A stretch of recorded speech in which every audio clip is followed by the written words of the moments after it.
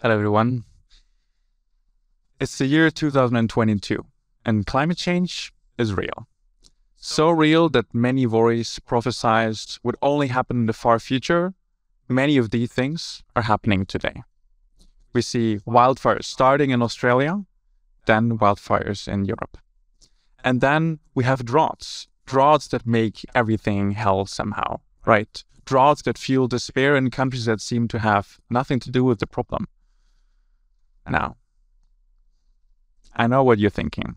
It's that type of talk again, right? The doomsday talk, the world is going down talk. We've heard it so many times already. But am I lying? What I told you is happening today. I'm not making this up. It's happening right now. And if we don't take better climate action quickly, if we don't take action on climate change, then things will only get worse. Our planet will still exist. It will still be here no matter what we do. It will still turn, the sun will still shine, but it will be an overall worse, less diverse, less equal place to live. So I think we all know we don't want that to happen, right? But how did we get here? How did we get to this point right now? So I don't want to turn this into a history lesson, um, so I'll keep it very brief the history around the understanding of climate change from a science perspective started in the 1800s. And piece by piece, just like research works, we started to understand our climate a little bit better. Until today, we don't have a perfect understanding of climate change, but a better understanding of climate change than ever before. And it turns out that unlike what some media might communicate, climate change is very, very clear. The science is very, very clear. 99% of scientific literature agrees on human caused climate change. And now, some of you might say, oh, but there's 1% left. No, that 1% is what some might refer to as bad science. It's basically science that is not reproducible, science that doesn't really help us in anything. So, the science is clear. And we also have some of the best research institutions, professionals, startups working on pressing solutions to climate change. Surely they will figure it out, right? And yet still we're here, right? Things don't seem to have fixed themselves. So, what do we do about this? Climate change is complicated, it's depressing, right? And it's not just one small thing. It's a whole network of problems and sub problems and sub sub problems, and we seem to have to figure it out somehow. And we do have solutions to these problems. Turns out, not all of them are as good as we'd like sometimes. There's compromises to be made, but we have something we could work with. Yet, with all the trying that our governments and corporations and economic systems could muster, we're nowhere close to tackling the issue appropriately. And a lot of people agree with me on this. Allow me to take you back to 2019. Amidst the fear of where our world is heading, a politician somewhere out there holds an interview, smiling into the cameras while talking about their green and sustainable transition plans. And they're not making themselves very popular that day. Because right outside that press room, we hear voices loud, angry voices demanding change.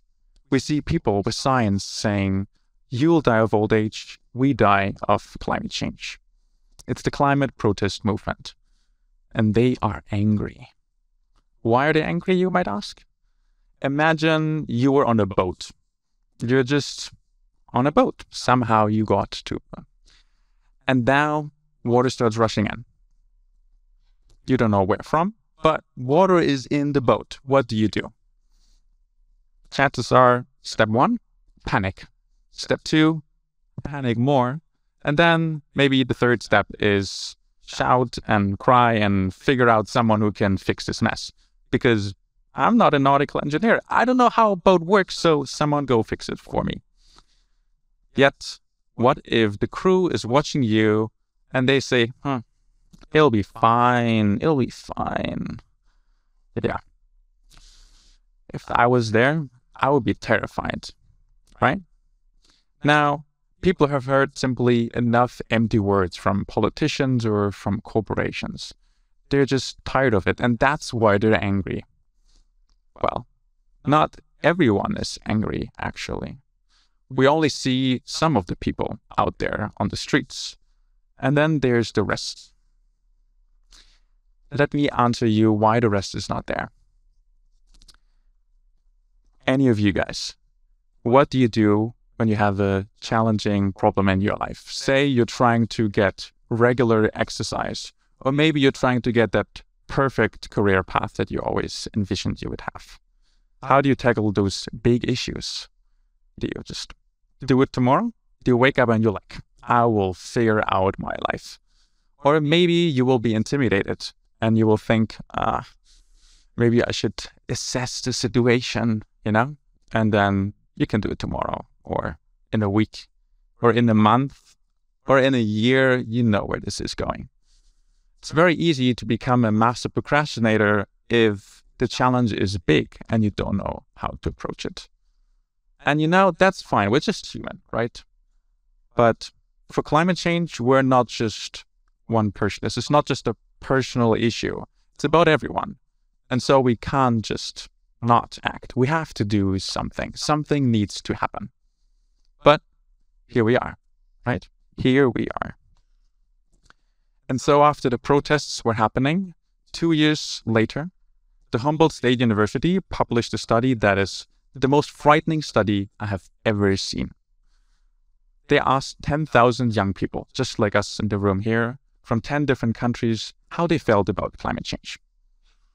95% of them said that climate change made them feel worried to some extent, and over 50% said when they thought about climate change, they felt anxious, powerless, and guilty.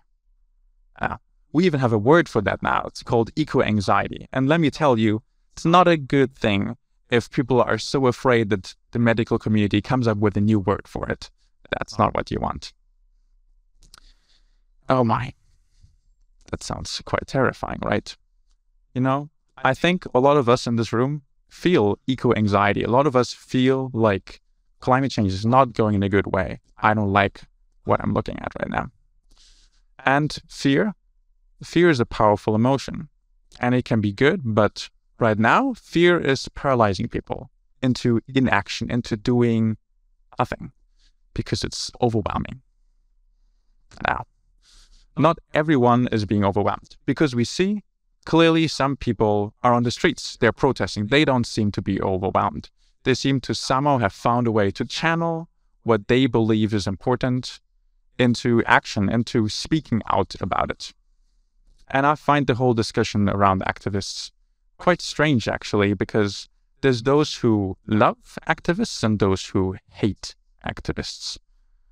I guess activists are uncomfortable, but if we're talking about democracy today, I think activists are actually a key component of democracy. Because what are activists? Aren't they just people who have beliefs and they think that they should stand in for the values that they see in this world? They think that something is not good enough. We need to do better. We need to change something. And they speak out about it. Isn't that the whole point of democracy?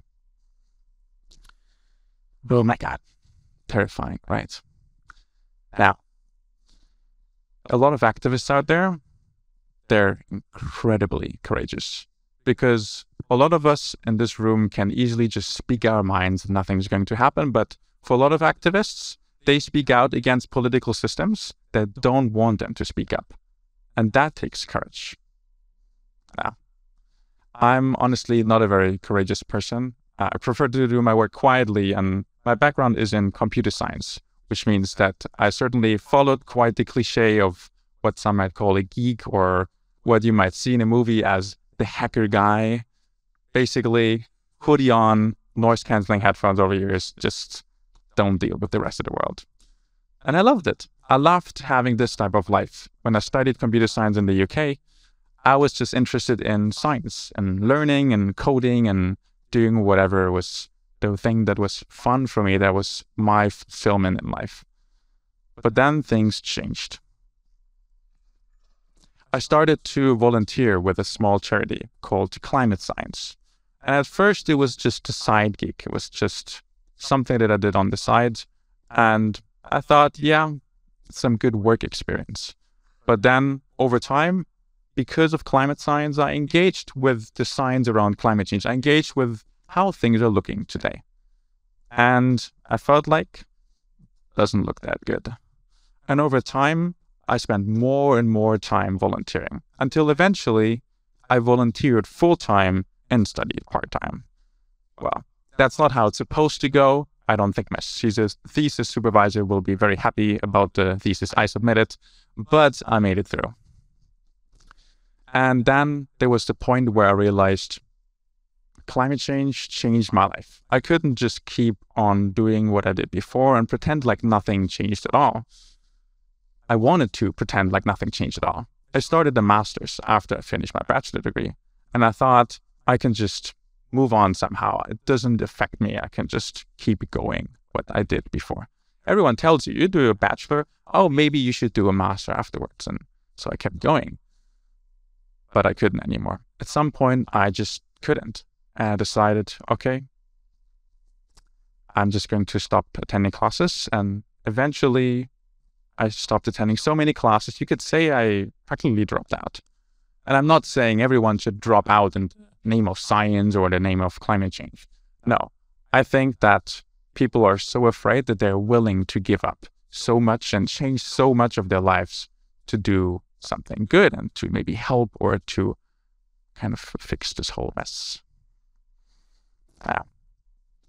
When we want to change how we approach climate change, we need to understand how change works. How does change work? It's basically simplified three phases. You need to be aware, you need to understand, and then in the third phase, you need to act. You need to do something. So, it all started with the climate protests in 2019. People became aware because the climate protests they were in your face. You could not look away. There was no way around them because they were everywhere. They were on the news, they were in your city, and that was great. But they also used a lot of fear fear of where the world is heading, the fear that I mentioned in the very beginning of this talk, because that captures people's attention. It was perfect. The world listened up, and then we lost them we lost the people because we didn't follow up on anything. We just told them the world is going down and here we are. That's not very practical. And that's the problem that I have with how we've been approaching the pipeline of climate action, as I call it. We need the whole thing. We need awareness, and then we need the middle piece. I call it education. You may call it something different. We need to understand what is out there so that we can take action. Now, I think that there's one piece where we can see that this education, this understanding of what we're trying to do is key. Let's say recycling. Recycling is a good example because people are aware of roughly how it works at home.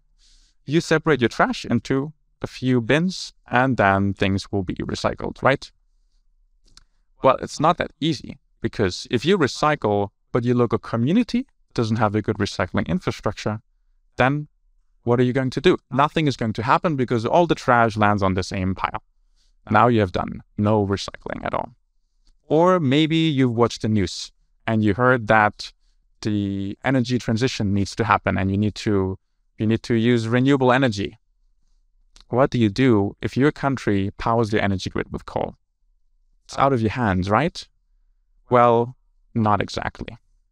And that's where climate change becomes complicated because it's not only about the everyday things we do. It's not only about the things that we believe is climate action, that we believe make a difference. It's also about the bigger picture. It's about systems. It's about systemic solutions. Let's talk about systemic solutions. One of them actually is what this entire building here is about politics. How do we change the energy grid? Do I buy a power plant? Probably not, right? We go and vote. Voting is one way how we can influence the system because the system needs to work with us so that we can take action. We need to be able to have solar panels so that we can put them on our roofs, right? It's about systems, it's about bigger pictures than just ourselves. And so education is where these systems come together. That's where we take the complicated part and we make it easy. And that's why I'm so passionate about the work I do at Climate Science.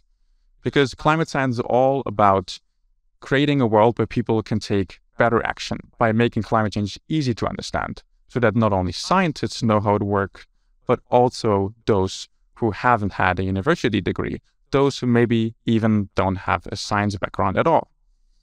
And that's what we need. We need more people to understand climate change and its solutions. We need education everywhere so that people have access to it. Because it turns out that education and access, that's another whole big issue. Climate education information, if you look up for it, it's going to be in English probably. Now, a lot of people speak English, but even more people don't speak English. Now, where are they going to learn what to do? They're just going to see what the media portrays, but that's not always the whole picture. And so climate science started creating resources.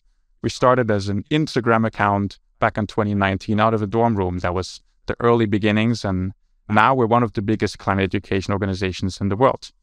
And we have a long way to go because climate education isn't really on people's agendas. They don't really think about it. People try to wing it because we've always missed out on this puzzle piece. So it's 2022 and climate change is still real. And yet, while people want to help, they don't know how. They don't understand climate change nor its solutions. So it's time we change that. And so there's two things I would like you to take away from today's talk. One, start learning again. Because if you care about climate change, it's time that you take action by learning about the solutions before trying to implement them. And secondly, if you know someone who could help bring education into a local community, a state, or perhaps an entire country, then please get in touch and help us bring education to everyone because everyone, not only scientists, not only politicians, have an opportunity to be part of the solution to climate change if we give them the opportunity for it. Thank you.